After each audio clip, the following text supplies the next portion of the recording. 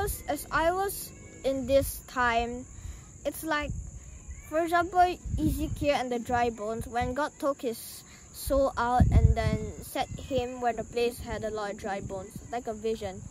The same thing for me. I felt when I was sleeping. When I was sleeping, God took my soul out, and then he and then he set me to this place to to see what's happening and then at the end he will bring me back in time to tell you all these things to you.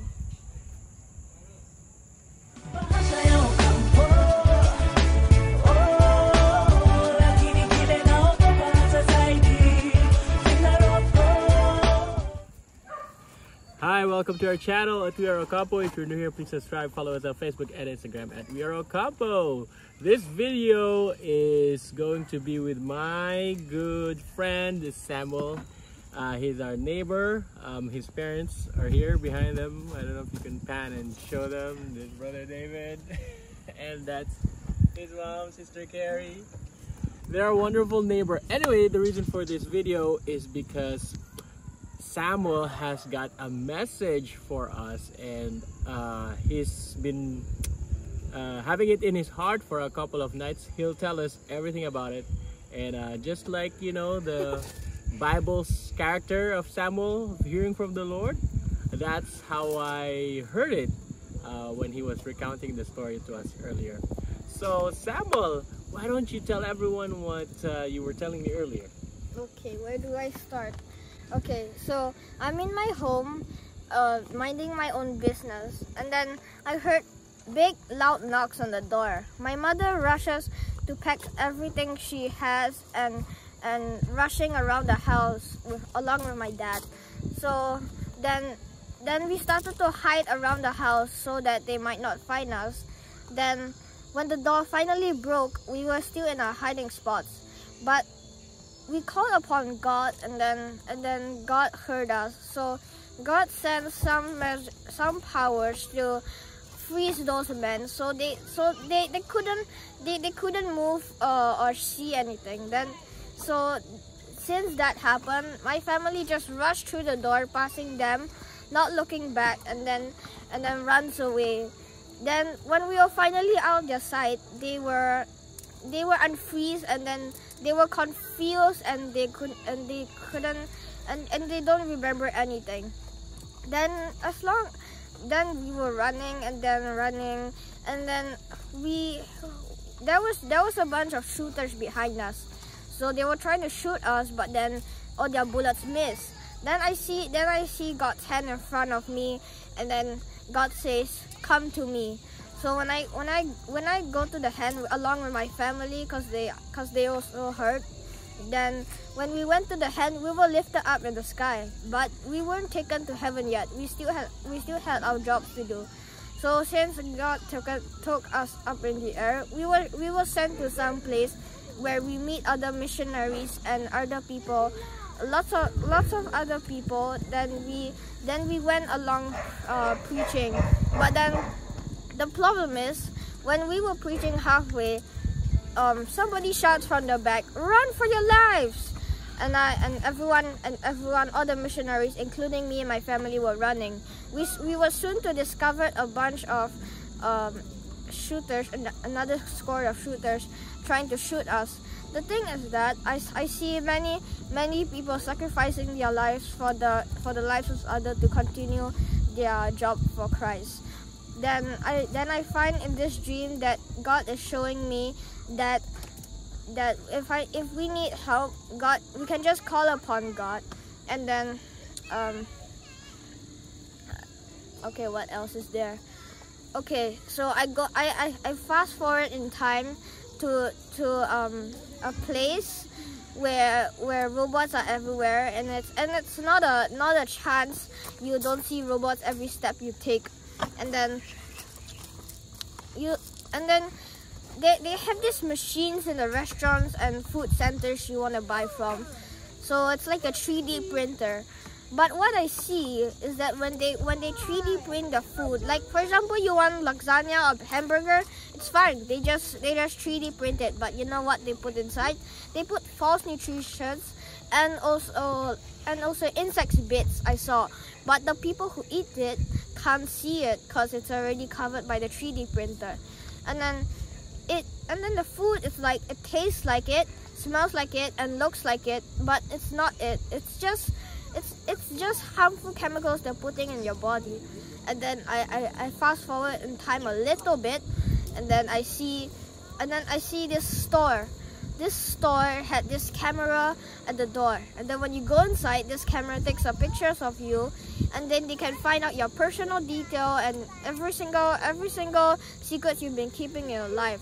And then when you go inside the store they, they don't really sell that they don't really sell like fruits or like vegetable or meat anymore sometimes but what they sell it's some kind of chemicals which are in special packages so I'm like, what is this?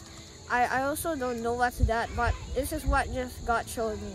And then when they want to check out to buy those stuff, I see their right hands with a chip inside. I only I could see it, but it was inside their hands. So when they want to buy it, they just there was a there was a square and then they put their hand like this. And then it had teeth and then and then you would buy the stuff it will it will also say how much you have in your bank how much you have left in your bank and how much you spend for this day in this store and a lot of details and then i find that that there will be no more like phones like ipad um, computer like gadgets. That would just that would just be a chip in your hand. And then and then what and then whenever you want you just you just summon you just summon the this a blue screen to to pop out on your hand with nothing to support it. And then you can just type or do whatever you want that you, you want to do with the gadgets.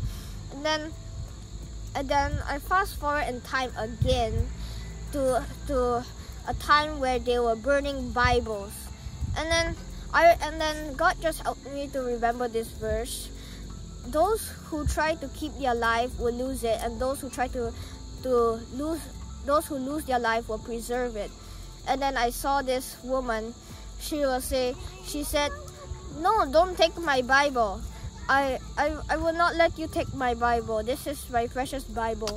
So then they killed her. But but, before the but before the weapon hit her, God took her spirit up. I saw her spirit taken by the hand of God to heaven before she was struck by a bullet. So she did not experience pain or death. Then I see a second vision where this man he was holding the Bible. He said, "Here, take it. I this Bible I, I will I will give this Bible to live." But what happened next is that all of a sudden um his mind went blank. And then and then he acted like a zombie. And then he he had no reaction no feelings. He was just a, a plain zombie looking in mid-air. And then he walks around while while uh while something in his brain tells him to do. And then as you can see i ai is like controlling them. And it's and it's so and it's so amazing that that ai one AI is controlling like the whole the whole universe. And then I and then I fast forward in time again. This time to find myself in midair, looking down at all the people who are cursing to the sky to God, crying out loud and and and cursing more and saying bad stuff. Then I was taken up to heaven. I see so many people in the sky with me. But the thing is that when I look down, it's like 10 times more I see in the sky with me going up to heaven. I was so I was so shocked that I was so shocked to see so many so many people on the ground. All the people that I know that were my friends and, and I don't know them. And then as I told you before, those friends that betrayed me, those are the ones that are still down there. Then when I was taken up, I I saw I saw I saw um, a throne then I saw God sitting on it with his with his um, bright face I couldn't see. So then I see angels which has four faces, a human, an eagle, and some other faces, two other faces that looks like a boar or something else. And then and then as a, a book will appear and then a, a name is written on it, and then God will call the name that is written on the book. The person who has the name will come forward to the throne. God will see, God, God will see like what you have done in the book. And those who repented of their sins, God has forgotten those sins. Those sins are erased and they're no longer to be known. But those who did not repent, their sins are still there in the book. So my message is for, for you is that if you have sinned, repent now before it's judgment day.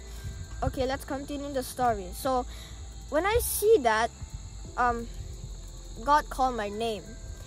When I, I repented for my sins already, and then and then God say, Well done, good and faithful servant, and enter ye the joy the joy of thy masters.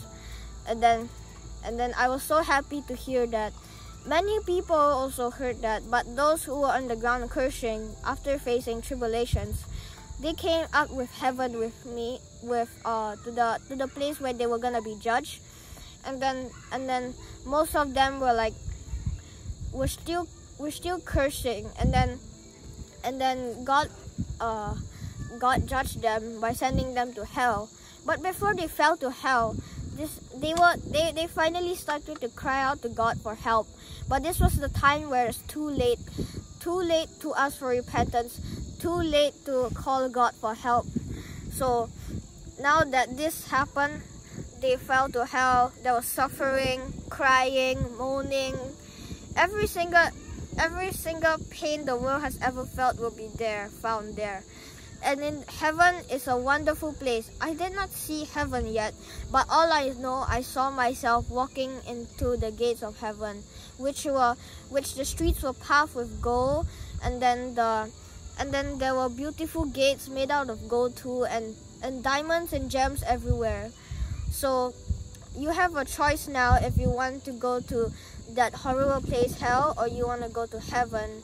So you have your choice now. Think wisely. I was a, I was a teenager that time and now I'm 11 years old. You can imagine how close the time is when I'm a teenager and I'm 11 years old. You see you see the the few years distance of that happening. That that happens so fast. So this is this is happening so fast that you can't even imagine it you you don't even know what's gonna happen next because it's gonna be so fast so intense and so quick. So this this is a very traumatizing experience but still exciting. And very and very like unexpected. Like you won't ex- you won't you you won't expect like people coming here and there saying hey you i know you. You you are the you are the one who who who preach about about christ. Many children crying for their parents because their parents are like without life lifeless. They are like they are like statues walking around not knowing anything. They're not they're not feeling anything and like when their children are crying they, they don't even they don't even even respond. They can't even hear it. They, they ignore everything. And the children will cry and cry and cry but still no response. And then i see then i see these children in the heart was very sad very confused by what is happening. And i see that many um many people was was sell will, will give their children to to to live again. Like for example some, somebody wants to kill that person and that person has a child. He is willing to give up that child just to live. But doing but doing that when he when when he lives he's gonna live with the mark of the beast. And then he and then his child is going to perish. And then I saw they, they're gonna use children to wash to wash away the sins. But this is not right. God has already sent his son Jesus to the world to to be to be on the cross. There is real robots like AIs like they're walking around. And then and then when you call them they can they can talk to you to you like a real friend. And then like the people are like robots. But when they when they see a robot, they they will they will be like, oh, like this is like a friend, and then and then um the robot they the robots are just like everywhere and like when you want to talk to them you can talk to them when you want. And then they will talk to you like a real friend treating you like your bestie. But all of these are just mind controlling robots. So as as i was as i was in this time it's like for example ezekiel and the dry bones when god took his soul out and then set him where the place had a lot of dry bones like a vision. The same thing for me i felt when i was sleeping. When i was sleeping god took my soul out and then he and then he set me to this place to to see what's happening and then at the end he will bring me back in time to tell you all these things to you. And repent for the kingdom of god is at hand